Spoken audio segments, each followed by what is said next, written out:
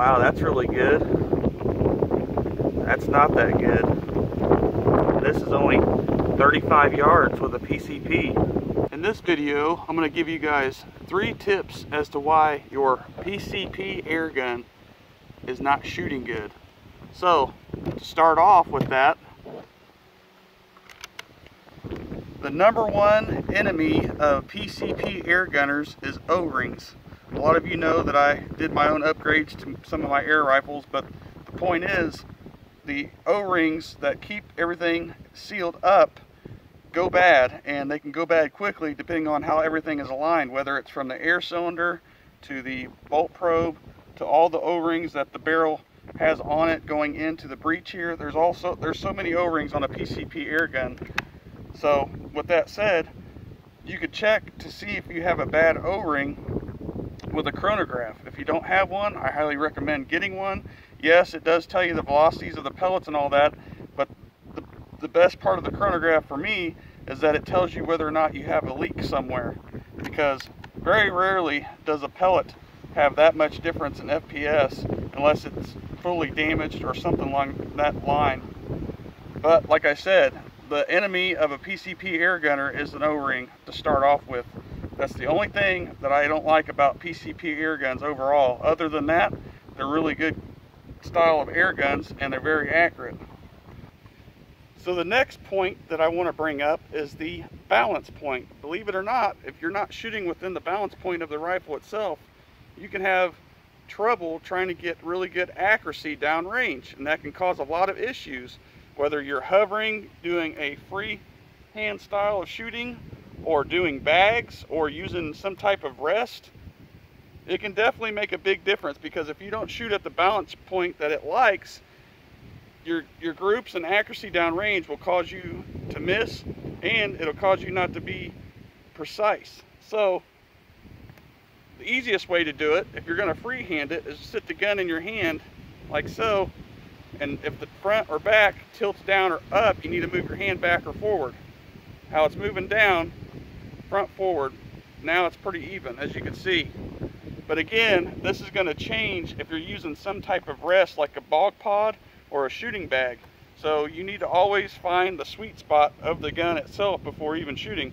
I like to start at zero before I even try to attempt to shoot because that way I know I'm set. Following up on the balance point, because this is all within each other, is the trigger mechanism and follow through. Now, this is tied up against the balance point. And why I say this, if you're not shooting on the balance point, any type of movement from the gun can make your shots be off. So, if you don't know, most of your PCP air guns have a, the firing mechanism, the trigger, the sear, the disconnect, all that stuff, and it connects to the hammer. Well, the hammer then has to go forward and hit the valving system to make the gun go off and allow your pellet to go down range. It's kind of a delay, like a muzzleloader, where it hits the primer, the primer then ignites the powder, and then the, the slug or bullet goes out the bore. There is a slight timing with these PCP air guns. It's not bad, but it is slight. So, with that said, if you get the trigger system down just right, using off the balance point, again, the zero point of the gun, the center, there should be hardly no recoiling action of any sort and with good follow through. If you don't have good follow through, your gun is just going to be all over the place, even if you do start at the balance point and have a good trigger pull. Meaning a good follow through is looking through your scope and keeping your eye on the target the whole time the trigger is pulled.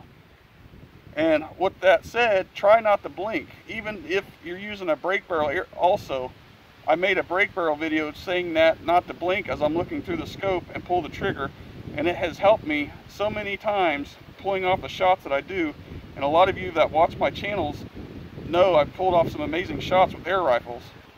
Well everybody, I hope you get something from this video and I hope these tips help you become a better shooter with your PCP air gun.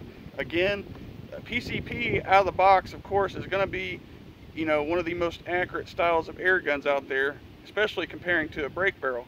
But don't let that stop you because these still may take some finesse to get shooting well. Now also I didn't include in this because it's a little more advanced but you may have to try some tuning and different pellets if it's not shooting good downrange. But more than likely, these PCP air guns shoot pretty much a lot of pellets out of the box and they're not that pellet picky at close ranges. It's only when you get to farther ranges that it makes a really big difference on how well your tune is. But other than that, if you start from zero like I do and try to every shot, every time I get a PCP air gun out, depending on what I'm doing, you know, you're set. Start from zero at the balance point, have your trigger pull down, and then make sure you have good follow through. And I can tell you, more times than not, you won't be missing. Or, you know, your groups and your shooting will be, be a lot better. And I can promise you that. So as always, I appreciate you watching the video.